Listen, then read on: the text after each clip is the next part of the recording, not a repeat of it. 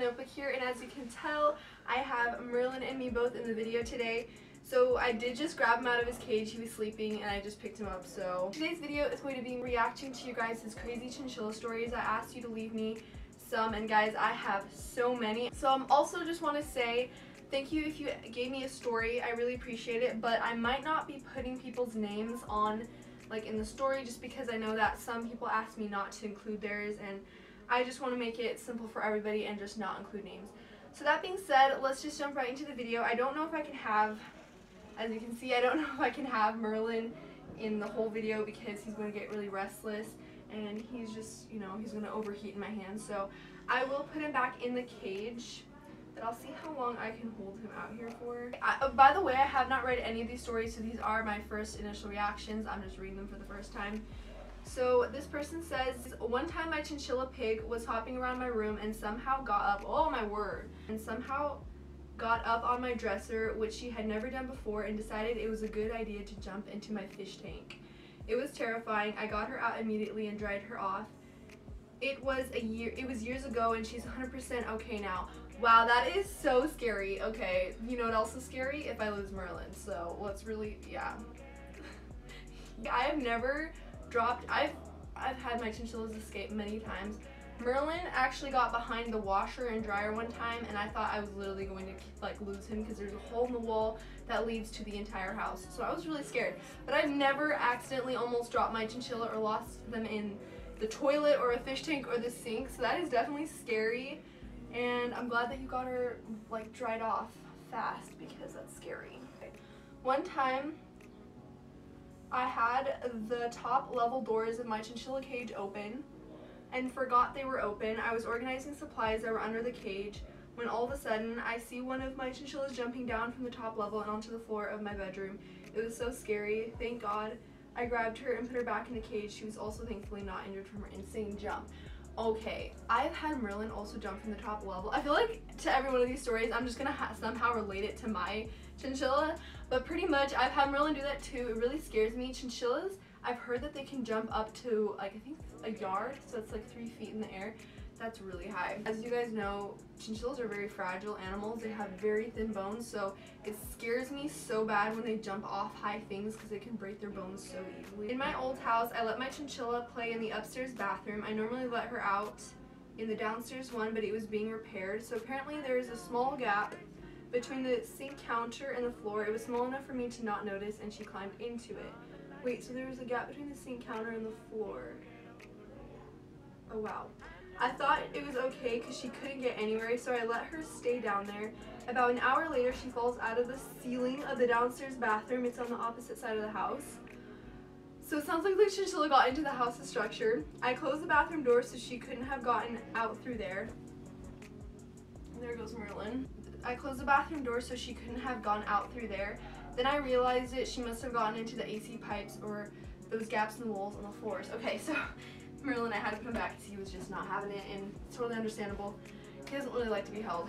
So anyway, this story is probably the craziest one. I have, this is like the second or third story and that's that's really crazy. Like, your chinchilla fell out of the ceiling. That is so scary if Merlin, if Merlin, wow. You know, I'm just thankful that you found your chinchilla because to lose your chinchilla would be the worst thing ever and then not know what happened to it that would be terrifying. One time I was at a pet store and I asked if I could pet the chinchilla. The lady said yes and opened a part of the area they were in. I started petting them when they weren't running around when suddenly one jumped out and started running all over the floor and everyone was trying to catch it. Okay, if you lose a chinchilla in a store, like I don't I don't know if this is like a huge one like PetSmart or Petco.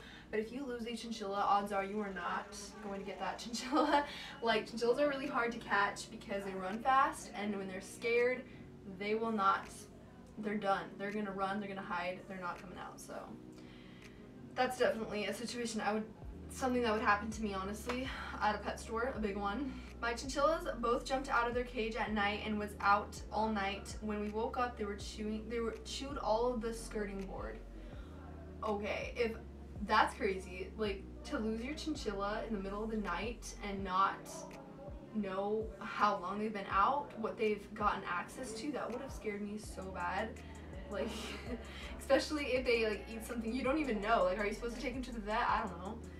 Once my chinchilla slipped past me when I was cleaning her cage, so she got out and ran around the whole house. We found her, but she had crawled into the couch, so we had to pull out the entire couch and lead her out using an apple slice. We finally got her after an hour or so. That sounds like me and my first chinchilla because we used to have the cage in the living room and me and my brother, we were younger.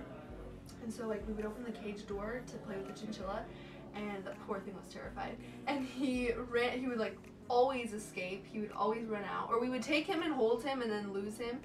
And so like that thing, that thing, that chinchilla would run around the whole house. We would chase a chinchilla, we named it Timmy. We would chase that chinchilla around for hours and that thing was so traumatized, but like, yeah, I can relate to you. My old cage broke and my chinchilla Chip escaped.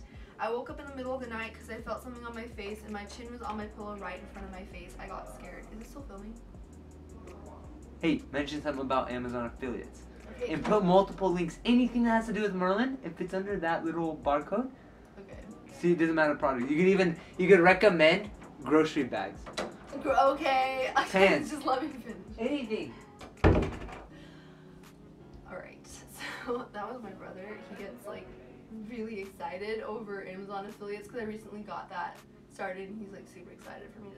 Anyway, sorry about that. So basically, back to the story. I've never had my chinchilla in my room before, like to sleep with me, but I'm pretty sure if I woke up with Merlin on my face or next to my face, I would fling him into the next universe, which is a good thing because, which is a bad thing, but like it's a good thing that he's not in my room because Mm, no.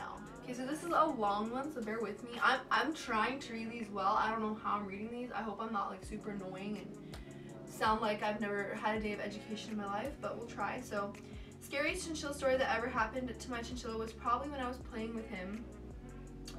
And I had a Chick-fil-A meal that I didn't clean up from last night. My chinchilla honey got onto my desk, and then upon realizing what was on my desk, a plate with a half-open Chick-fil-A sauce, I immediately jumped up, which in turn scared Honey as her entire back leg was covered in the sauce. I was freaking out. I immediately put her in the dust bath. It was too much dust. it was too much for the dust to strip out and immediately called my mom. We looked up things we could do and that was to use water, but oil and water do not mix, so we had to make a bowl with warm water and Dawn soap and lightly cleaned her off, but she is definitely full of spunk and does not sit still. So to calm her down, she streamlined, fed her quite a bit of goji berries until all that was left was for her to clean up herself. Aftermath was a little knot that eventually came out. Lesson learned, always clean up after a meal.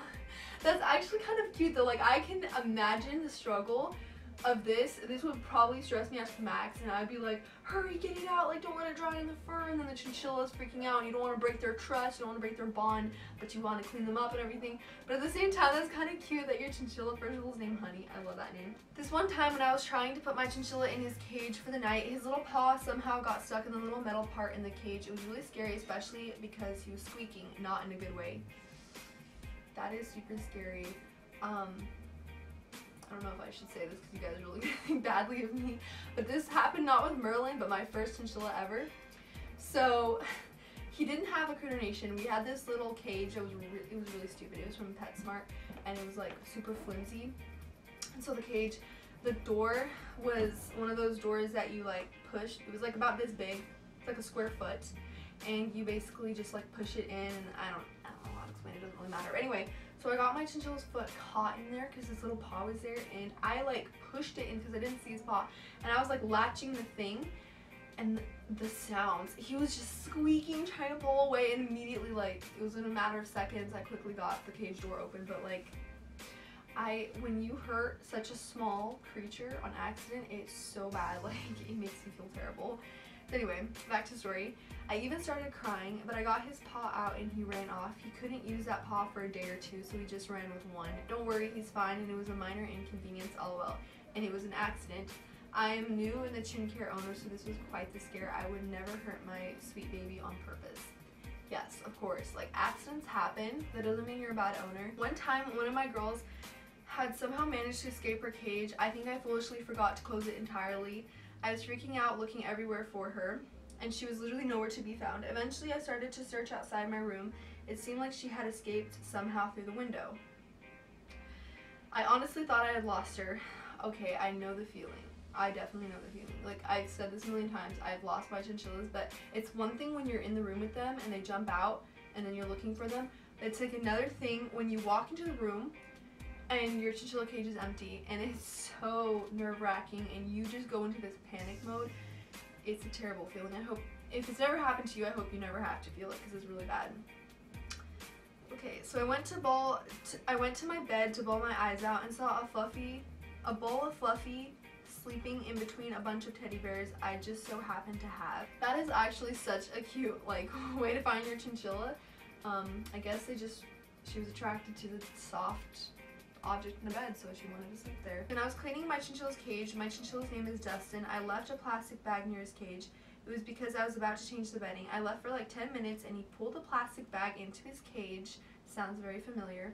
When I came back to the plastic bag was ripped pretty badly. I immediately took the plastic bag out. I freaked out and took him to the vet. He was totally fine and I think that he spit it out. Oops.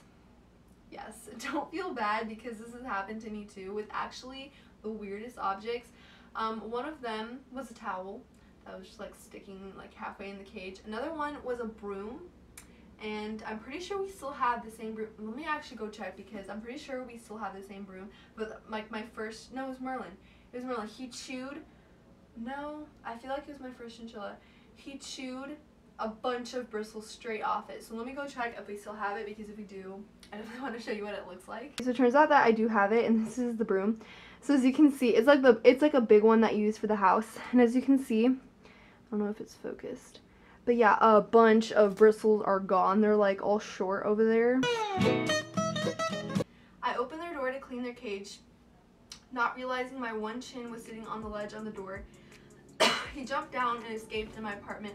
I had to chase him down and he doesn't like to be picked up so I had to grab a blanket and basically just smother him. He was not happy. That is actually a tip I recommend if you ever lose your chinchilla and you just cannot catch them or you're afraid to catch them because you don't want to like crush them or grab them the wrong way grab a sweater or a light blanket and just throw it right on top of them and they'll just be like a little ball and then carefully and gently scoop them up in the ball and take them back to the cage. Do this quickly because obviously they can overheat and you don't want them to get too hot and like suffocate. If you leave them in there for a long time they will suffocate and die. Okay, so this next story is I have two chinchillas, gray and beige brothers, Chimmy and Changa. Those are really cute names. They're almost two years old. I've had them since they were babies. About a year after having them, I went to check on them and Chongo was hanging upside down with his head, with his leg stuck in the hay rack. I panicked at first. I didn't even know he was alive until I was trying to get him out of the rack. I rushed him to the nearest exotic vet and had to leave him overnight. It was so sad and stressful. I go back the next day after he had been checked out and given x-rays and was shocked to find out his leg was not broken. I have absolutely no idea how that could have happened. He was literally hanging upside down suspended from the hay rack. He could have been hanging there for hours, which terrified me. I felt so bad. So that is actually another really scary story. I don't know which is worse, the one where we were out all night, the one that chinchilla literally fell from the ceiling, or this one. Like that, that's really scary because, oh my word, imagine walking into your cage, into the room and looking at your cage and your chinchilla's hanging upside down and they're not alive. Like I'm so glad this chinchilla was alive and that they're fine now because that would have freaked me out. My crazy chin story is that my chinchilla accidentally fell into a water bucket when I was cleaning up their cage. I picked him up very fast and ran into the bathroom to get the blow dryer. I dried him and now he's fine. Yeah, that's something Merlin would do, which is why I could never have a bucket of water around his cage. Once I took my chinchilla outside for five minutes for some fresh air and he jumped out of my hands and ran around my front porch and I got so freaked out. Yeah, first of all, I don't really recommend you take your chinchilla outside, but if you are going to take your chinchilla outside, even just for some fresh air really quick, which is not my permission to like go do that, but I'm just saying if you are, definitely make sure that you do not just take it out with your hands because like I said, chinchillas in one second they're fine, the second second they're just scrambling, they're jumping, they're flying, they're out, and you could lose them really easily, especially outside, so make sure you have them like in a cage or something, I don't know. I took Smokey and Bandit, which is their chinchillas, out for playtime and Smokey really likes to jump into things. I was sitting in a chair with a garbage can next to me. It was pretty tall and Smokey jumped in my lap. He then jumped in the rest and jumped into the trash can, into the armrest and jumped into the trash can. And I felt so bad that I couldn't stop laughing. I picked him up and he just seemed just fine. A little shook, but that's all. I think I've actually caught on tape before Merlin jumping into like uh, not on tape, but like I was videotaping. I was I was filming a video. Videotaping sounds really old fashioned, but I was filming a video and Merlin literally just jumped right into the trash can, which is really cute. It's funny. Like some things that chinchillas get into or they get themselves hurt, like minor, it's actually kind of funny. Like not to sound terrible here, but that is funny, okay? If your chinchilla ends up in a trash can, I'm gonna laugh at it, so. when I let my chins run around, I would always see. I really hope you can't hear my family. I would always see Milo out and running and playing, but Lewis was just hiding. I later found, wait, where am I? I later found out he was just one of those shelves and eating out of an oak jar. I would bring my chinchilla Bentley into a little enclosed area for about an hour and at a time, twice a day. So one day I brought him into an enclosed area. This was, by the way, when we first got him. But anyway, I brought him into the bathroom for the first time and he jumped on my head and then I was like, oh, this is a cute picture. So then I took a picture to find him pooping and peeing all over my head. It's disgusting. I did happen to feel some warm dri stuff drip down my back, but never knew what it was. Then I stood up to take the picture and he attacked the camera. That whole story is just, it's golden. Um, but first of all, that is disgusting and 100% sounds like something a chinchilla would do. So my sister used to have a hamster. He passed away about a year ago. And her bedroom was right next to mine. She didn't know much about hamsters and the cage she was in had a few issues, but overall her hamster lived a very happy life. I was trying to fall asleep one night when I heard my chinchilla making irritated sound, so I got up to see what was the matter, and lo and behold, Teddy, my sister's hamster, is inside my chinchilla's cage trying to act, interact with my chinchilla, and he wasn't having it, lol. That's terrible. I have often thought about what would happen if two different rodents just ended up in the same cage, like they would probably not take it very well, especially Merlin because he's like really territorial.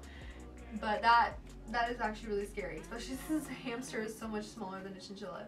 I panicked and took Teddy the hamster back to his cage straight away. Okay guys, so I think I'm just going to end the video here. Of course, I didn't read all of the stories, so if you guys put a story in and I said thank you, I appreciate it, and then didn't read it in this video, just know it's because I didn't really have that much time to go through all of them. I got a lot of stories. Thank you guys so much for participating. I really appreciate it when I put things on my stories and ask you guys questions and you give me your feedback and you give me like inspiration and stories and all this kind of stuff. I really love it and appreciate it. So thank you guys so much for that. If you guys want or need anything for your chinchilla, and it's on Amazon and even if it's like not for your chinchilla whatever I will be having a link in the description box it is going to be the link is going to take you to a chinchilla cage in Midwest Critter Nation and you don't need to buy that cage you can buy anything off Amazon for your chinchilla or anything honestly if you want to buy yourself sunglasses, doesn't matter, anything. If you use the link in the description box that I have below, it gives me a small percentage of commission. It just, like I said, helps me and Merlin out a little bit. But yeah, that's going to be, an Amazon affiliate link is always going to be linked in the description box of every single video from here on out. So if you are ever in the future wanting to buy anything off Amazon for your chinchilla, then just use my link. Thank you guys so much for watching and I will see you in the next video. Are you gonna tell me where you went? All the messages I sent with no reply